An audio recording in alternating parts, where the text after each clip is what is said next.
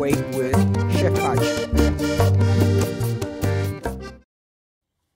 The secret to Mexican carne asada. Carne asada Mexican style. This is a delicious grilled beef with a seasoning you'll love forever.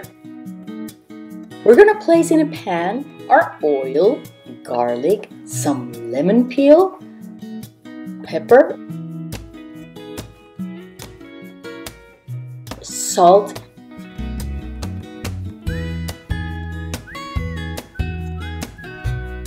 and a little bit of cumin. This is gonna be amazingly aromatic.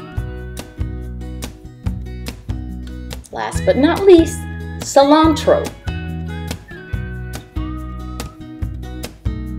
We're gonna heat this for a minute under low medium heat. All we want is the aromatics to come out and bring out all those delicious flavors. Then we're gonna place our meat on a grill or on a barbecue at medium high heat. You want the grill or the pan to be very hot when you place the meat on it. And then you just cook for a minute or two on each side, depending on how you want your meat. Rare, medium, or well done.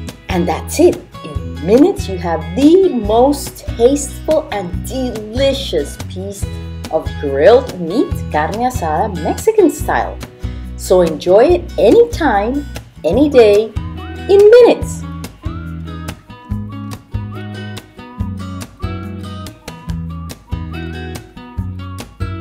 Remember, with Chef Pachi, delicious diets are sustainable diets. Chef Pachi.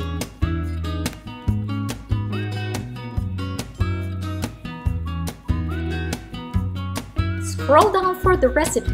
You can print it. Subscribe and turn on the bell for recipe updates.